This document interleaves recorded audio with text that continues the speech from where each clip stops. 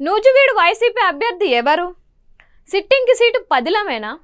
టీడీపీని వీడి వైసీపీ వైపు అడుగులేస్తున్న సీనియర్కు అవకాశం ఇస్తారా? సీఎం జగన్తో ఆశావహలంతా భేటీలు అవుతున్న అభ్యర్థిని మాత్రం ఖరారు చేయలేదు. ఇంతకీ అధిష్టానం వ్యూహం ఏంటి స్కెచ్ ఏంటి ఎన్నికలు దగ్గర పడుతున్న వేళ పార్టీలు అభ్యర్థులు ఎంపికపై ఫోకస్ పెట్టాయి. ఒక్కో నియోజకవర్గం అభ్యర్థుల్ని ఖరారు చేస్తున్నాయి. అయితే సీటు ఆశించి భంగపడ్డ నేతల్లో కొంతమంది అలకబూనితే మరికొందరు పక్క చూపులు చూస్తున్నారు. ఈ కోవలోకే చేరారు ముద్దరబోయిన వెంకటేశ్వరరావు గారు. గత పదేళ్ళుగా టీడీపీలో ఉన్న ఆయన మొన్నటిదాకా నూజువేడి ఇన్ఛార్జిగా ఉన్నారు. ఈసారి టికెట్ తనకేనని ధీమాగా ఉన్నారు. ఆల్ ఆఫ్ సడన్గా అధినేత టికెట్ లేదని చెప్పడంతో షాక్ అయ్యారు ఆయన. వైసీపీ రెబల్ ఎమ్మెల్యే పార్థసారథి న్యూజివీడి ఇన్ఛార్జిగా నియమించింది టీడీపీ. ఈ పరిణామంతో షాక్ అయిన ముద్రబోయిన తనకు చంద్రబాబు అన్యాయం చేశారంటూ ఆత్మీయ సమావేశంలో కన్నీటి పర్యంతమయ్యారు. ఆ తర్వాత పార్టీ మారాలని నిర్ణయం తీసుకోవడం తాడేపల్లి క్యాంప్ ఆఫీస్లో వైవి సుబ్బారెడ్డితో కలిసి సీఎంతో భేటీ కావడం చకచకా జరిగిపోయాయి.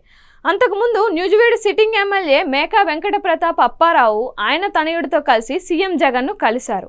ఈ భేటీ దాదాపు పదిహేను నిమిషాల పాటు సాగింది. అయితే ఇద్దరిలో న్యూజివీడు బరిలోకి ఎవరుంటున్నారన్నది ప్రస్తుతానికి సస్పెన్స్గా మిగిలిపోయింది.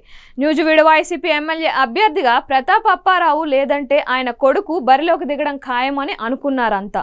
అయితే అనూహ్యంగా ముద్రపోయిన వైసీపీలో చేరడంతో న్యూజివీడ్లో ఎవరు పోటీ చేస్తారనే ఆసక్తి నెలకొంది.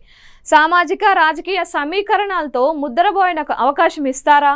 లేదంటే మరో రకంగా న్యాయం చేస్తామని హైకమాండ్ హామీ ఇస్తుందా? అన్నది చూడాలి. సీఎంతో భేటీ తర్వాత ఎవరితో మాట్లాడకుండా వెళ్ళిపోయిన ముద్రబోయిన త్వరలో వైసీపీలో చేరికకు ముహూర్తం చూసుకుంటున్నట్టు తెలుస్తోంది. న్యూజివీడ్ బరిలోకి ఎవరుంటారనే చర్చ జోరు అందుకుంది. ప్రతాప్కి మరోసారి ఛాన్స్ ఇస్తారా?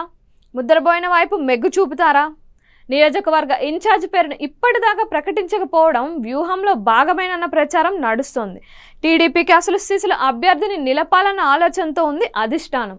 ఆ క్యాండిడేట్ ఎవరన్నది తెలియాలంటే వెయిట్ చేయాల్సిందే.